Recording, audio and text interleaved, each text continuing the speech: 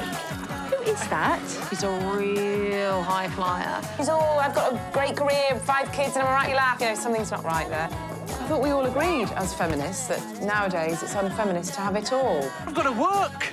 Bake the soda bread. Make myself look nice for Jill. I'm literally going to see to hear people. Oh, no, you look great. Oh, God, where's the baby? Motherland is back Oh, no, sorry, it's still nursery. on BBC Two.